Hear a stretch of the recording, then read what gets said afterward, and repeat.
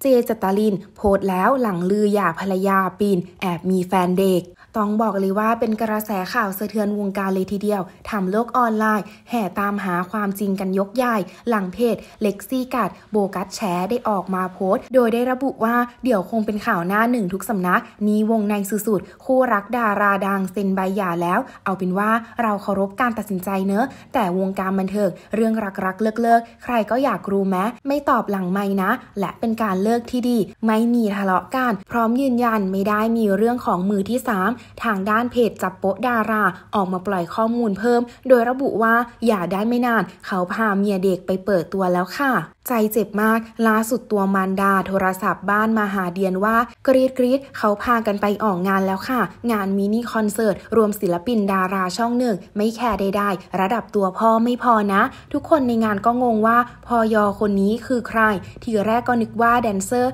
แต่พออีกคนลงเวทีมากอดมาหอมทุกคนเลยถึงบางอ้ออ๋อเมียเด็กแฮชแท็กดาราอึ้งแฟนคลับอึ้งแฮชแท็กห้ามลอกกันบ้านกันนะคะแฮชแท็กเดียนเองก็ลำบากใจแฮชแท็กจับโป๊ะดารา แถมยังบอกอีกว่า ถ้าไม่เชื่อเดียนไปดู IG เมียเด็กได้เลยค่ะ นางอัพรูปลง อยากให้ทุกคนรู้แฟนคลับรู้แฮชแท็กกูไม่อยากรู้ค่ะท้าความก่อนเมียหลวงแม่ผัวฉันจับได้ครั้งที่ 100 ว่าผัวฉี่นอกใจนอกกาย ไปมีเมียเด็ก เลยขอหย่าทันที มันทุนไม่ได้แล้ว งานนี้ชาวโซเชียลแห่อมเมนต์กันรัวๆ ว่าใบขนาดนี้ พร้อมทั้งงานข้าว พุ่งเป้าไปที่เจ้าพ่อแรปยุค 90 เจสตารินเลย หลายคนก็ยังถามได้ว่า ช็อกว่าใช่หรออาทิคำใบนี่ปอกับจอเลยนะ ลูกเจ้าทั้ง 3 คน ใช่หรอ เขาดูรักกันดีมากนะ ลูกสามหล่อทุกคน นี่คิดได้แค่ครอบครัวนี้ครอบครัวเดียวเลยนะ ลูกชายทั้ง 3 นึกได้อยู่คู่เดียวคาใจอะคิดไม่ออกเลยจริง ๆ ขออย่าให้เป็นแบบที่เดาเลย